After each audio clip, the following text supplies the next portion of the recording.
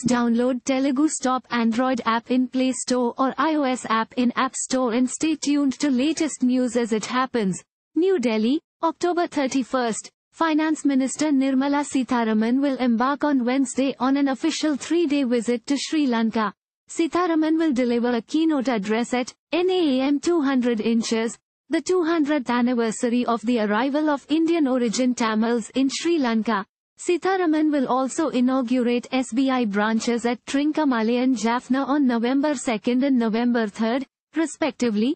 Sitharaman will also visit Lanka IOC oil tank farms, Jaffna Cultural Center and Jaffna Public Library during her official visit.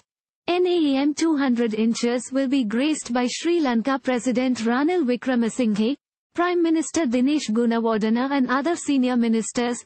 Other invitees from Indian political parties and representative of Malaysian Tamil Congress will also be present in the event.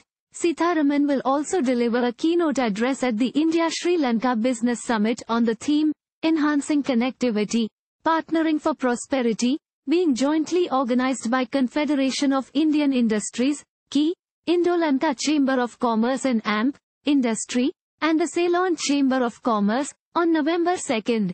As part of the official visit, she will have call-on meetings with President Wickremesinghe and Prime Minister Gunawardena, Sitharaman will also witness the exchange of the MOU for solar electrification of religious places in Sri Lanka wherein India will allocate 82.40 crore rupees out of the Government of India grant assistance of 107.47 crore rupees earmarked for the promotion of Buddhist ties. She will also visit Sri Dalada Maligawa, the temple of the sacred tooth relic, in Kandy, Jaya Sri Mahabodhi in Anuradhapura, Tirukunishwaram temple in Trincomalee and Nallur Kandaswamy temple in Jaffna during the course of her visit to Sri Lanka.